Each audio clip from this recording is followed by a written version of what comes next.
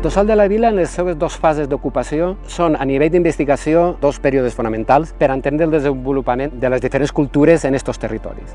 El primer, antes de la formació dels poblats ibèrics, i al cap de 1.800 anys, al segle VII, VIII i IX després de Crist, es consolida un altre fortí que és d'època andalusina. Si per al primer moment, en el moment del bronze final, el jaciment era un poblat, s'habitava pràcticament tot el tossal, el moment andalusí és un moment totalment diferent. Se consolida com un fortí militar, en una intencionalitat bàsica de control dins d'aquest procés d'islamització de la península, en el qual necessitaven uns punts de recolzament per a controlar sobretot les vies de comunicació i tot el territori.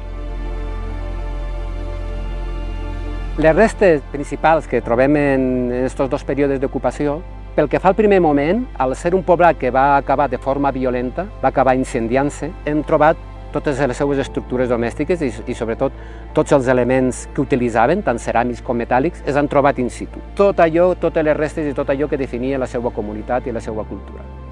D'època andalusina és un jaciment que s'abandona de forma periòdica. Les seues cases i sobretot les estructures defensives i la mesquita.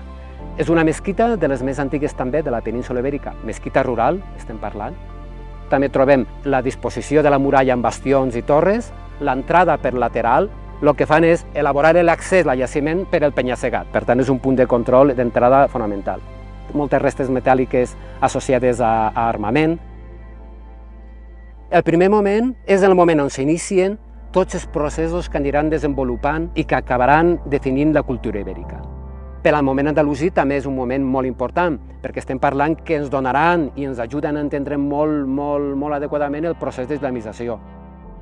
El Tossal de la Vila és un exemple perfecte de lo que seria el control i vigilància del territori. O sigui, tens una panoràmica pràcticament de tota la província de Castelló.